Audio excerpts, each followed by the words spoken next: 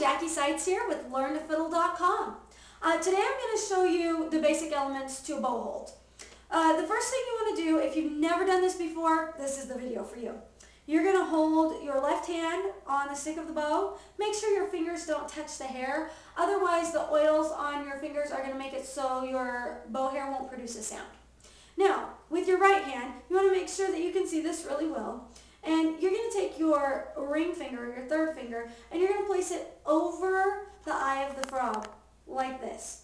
Not on the top of the bow, not curled around the bow, but over the eye of the frog. Second finger is going to go right next to it.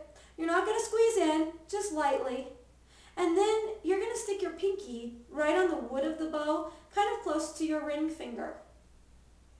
And then your index finger is going to curve around the grip. You don't want to reach too far. That's going to cause a lot of stress. Curve around the grip.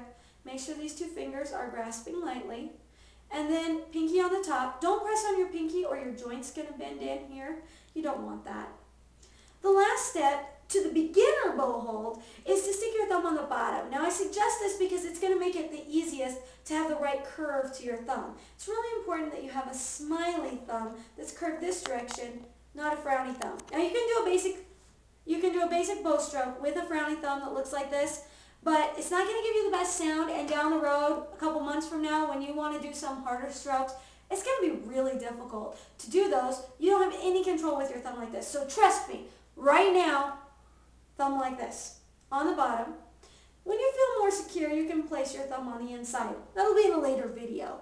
So practice that and there'll be more tips on how to do this um, on other videos. Check out my YouTube channel, Learn to Fiddle,